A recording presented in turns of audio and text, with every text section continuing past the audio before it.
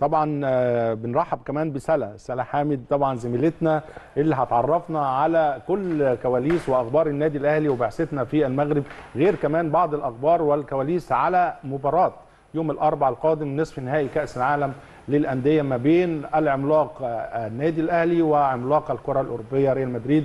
سلا بنرحب بيك. يا أهلا ازيك يا بيك. سلا؟ مساء الخير يا كابتن هاني وطبعا مساء الخير يا كابتن إسلام. مبسوطه إن أنا مع حضراتكم النهارده.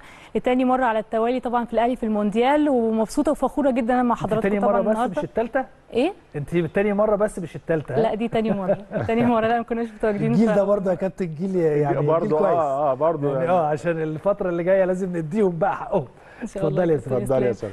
فطبعا يعني أنا فخوره أنا مع حضراتكم. وكمان يعني تاني يوم على طول بعد فوز امبارح على سياتل ساوندرز طبعا الأمريكي والتأهل لنصف نهائي من بطولة كأس العالم للأندية ومواجهة ريال مدريد. وزي ما حضرتك قلت يا كابتن هاني يعني مواجهة ما بين الفريق الأكثر تتويجا في أفريقيا والأكثر تتويجا في العالم وأوروبا. يعني شيء يدعو للفخر. وزي ما قال كابتن إسلام يعني عنوان الحلقة النهارده اللعب مع الكبار. يعني الحمد لله طبعا على نعمة النادي الأهلي.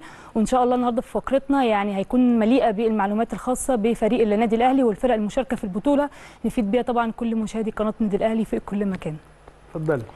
اتفضل طبعا خلينا نبتدي أخبارنا النهارده والخاصة ببعثه فريق النادي الأهلي في المغرب. استأنف الفريق الأول لكرة القدم بنادي الأهلي تدريباته الجماعية ظهر اليوم بدون راحة وذلك بعد الفوز على فريق سياتل ساوندرز الأمريكي بنتيجة 1-0 امبارح في الجولة الثانية من منافسات بطولة كأس العالم للأندية. كمان النادي الأهلي بيستعد لمواجهة ريال مدريد الأسباني في مباراة القبل النهائي من بطولة كأس العالم للأندية مساء يوم الأربعاء المقبل وكمان مستر مارسيل كولر المدير الفني لفريق النادي الأهلي قاد المران اليوم. يعني الأول بدأ بالفقرة البدنية آه، بالكرة للاعبي النادي الأهلي في بداية المران والتدريب الجماعي اللي اقيم اليوم. وكمان أدى الفريق الأول لكرة القدم فقرة بدنية لمدة نص ساعة قبل ما يستأنف باقي فقرات المران الجماعي واللي اشتملت يعني على تدريبات فنية.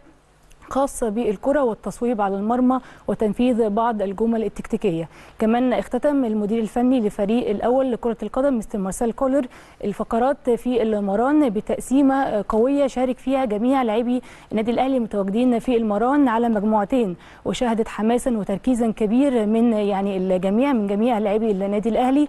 كمان قاد مستر ميشيل يانكن يعني مدرب حراس المرمى تدريبات الثلاثي حراس المرمى سواء علي لطفي حمزة علاء مصطفى مخلوف في فقرات بدنية وفنية في جانب من المران الجماعي قبل أن ينتظموا في التقسيمة مع باقي اللاعبين. كده كان تاني خبر معانا النهارده وده أول خبر معانا النهارده. تاني خبر وهو عن إنه مستر مارسيل كولر قرر إنه جميع لاعبي النادي الأهلي اللي شاركوا في المباراة أمس أمام سياتل ساوندرز الأمريكي إنه يعني كل اللاعبين اللي شاركوا بمدة كبيرة في المباراة إن هم يعني يقوموا ببرنامجا برنامج استشفائي وتدريبات خفيفة لجميع اللاعبين اللي شاركوا في اللقاء أمام سياتل ساوندرز وكمان قرر مستر مارسيل كولر إنه يخوض يعني مجموعة اللاعبين اللي شاركوا في المباراة تدريباتهم في الجيم. وده كان موجود طبعا في مقر إقامة بعثة فريق النادي الأهلي في مدينة طنجة بالمغرب. ويفضل مستر مارسيل كولر إنه يخوض يعني جميع لاعبي النادي الأهلي اللي شاركوا في المباراة تدريبات بالجيم اللي هتكون طبعا في الفندق الإقامة. ده طبعا لتجنب الإرهاق والتعب بالنسبة للاعبي النادي الأهلي ان هم طبعا يشاركوا في مباراتين في فترة أو مدة قصيرة جدا.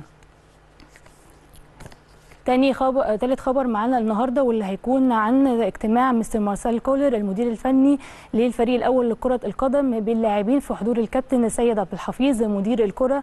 وده ذلك يعني قبل انطلاق المران اليوم والتدريبات بالنسبة لفريق النادي الأهلي. وحرص مستر مارسيل كولر والكابتن سيد عبد الحفيظ على الحديث مع اللاعبين قبل انطلاق المران تاكيدا على غلق صفحة مباراة أمس أمام سياتل ساوندرز الأمريكي والتركيز بجدية في استعداد والاستعدادات لمباراه ريال مدريد الاسباني في مباراه النصف النهائي من بطوله كأس العالم للأندية. وكمان اتكلم فيها مستر مارسيل كولر مع اللاعبين في بعض الأمور الفنية الخاصة بتجهيز أو التجهيزات لمباراة ريال مدريد المقبلة وضرورة الاستعداد النفسي بالأخص في هذه المباراة. يمكن طبعا يا كابتن إسلام ويا كابتن هاني يعني شيء مهم جدا إنه وجود كابتن زي كابتن سيد الحفيظ كان طبعا متواجد مع الفريق الأول في مباراة 2001 مع فريق النادي الأهلي أمام ريال مدريد. يعني شيء مهم يعني لاعب كان متواجد في المباراة دي متواجد طبعا دلوقتي كمدير الكرة إن هو ينقل أكيد خبراته وكل الأمور اللي كانت موجودة في المباراة مع ريال مدريد طبعا مع الجيل الحالي.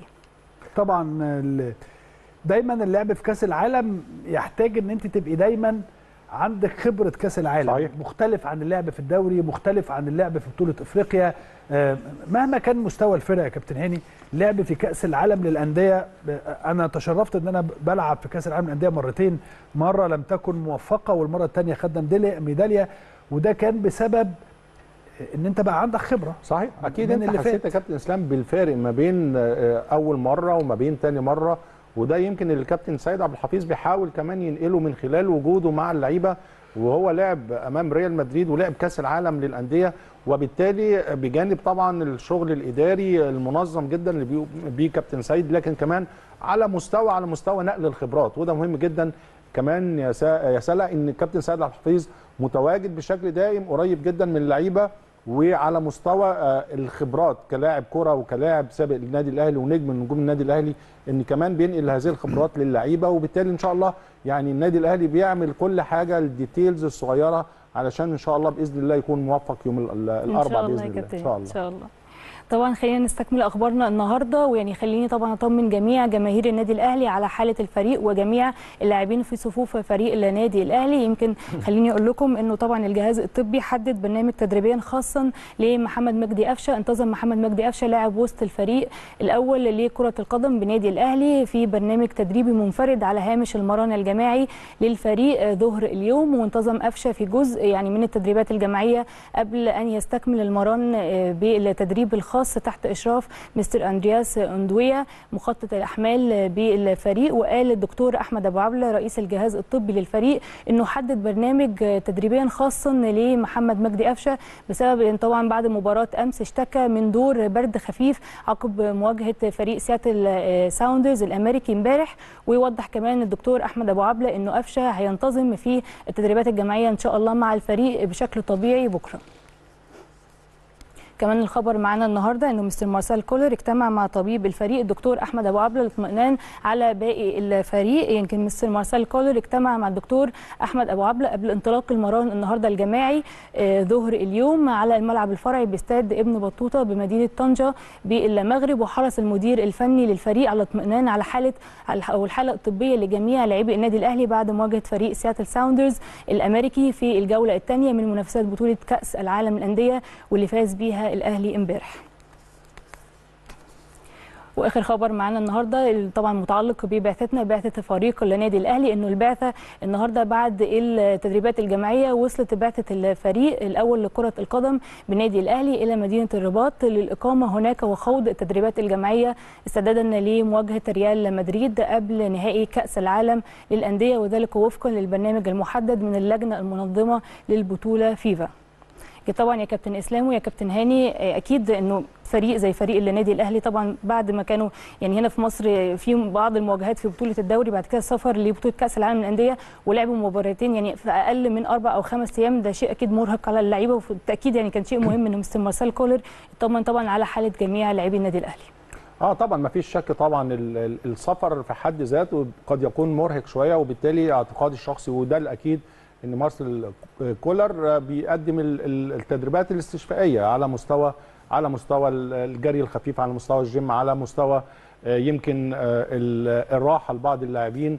في النهاية كلنا نتمنى طبعا إن شاء الله مباراة جيدة جدا إن شاء الله للنادي الأهلي سلام بشكرك شكرا جزيلا وإن شاء الله السنة الجاية تبقى السنة الثالثه على التوالي مش السنة الثانية إن شاء الله يا شكراً كابتن جزيلاً. هاني ويعني طبعا أنا كنت مبسوطة إن أنا كنت معاكم النهارده ولتاني مرة مش ثالث مرة يا كابتن إسلام تاني مرة مشكلة. على السنة الجاية. بقى خليها ثالث مرة السنة. الجاية تبقى أنت الثالثه تبقى الثالثه تبقى ويعني إن شاء الله النادي الأهلي يوم الأربعاء يفرحنا ويعني يفوز في المباراة يمكن زي ما قال كابتن إسلام طبعا يا كابتن هاني الأهلي لا يعرف المستحيل ودايما معودنا يعني طبعا على المفاجآت فإن شاء الله يوم الاربعاء نفرح كلنا وبفوز. يعني غالي طبعا يعني يعني آه طبعا ممكن فنيا تكون بالنسبة لريال مدريد المباراة الأقرب ولكن إن شاء الله يعني كلنا نفرح يوم الاربعاء آه، آه، في مباراة النصف النهائي من بطولة كأس العالم للأندية. وبشكركم إن جدا. شاء الله إن شاء الله. شكرا شكرا. ليكي على كل الكواليس والأخبار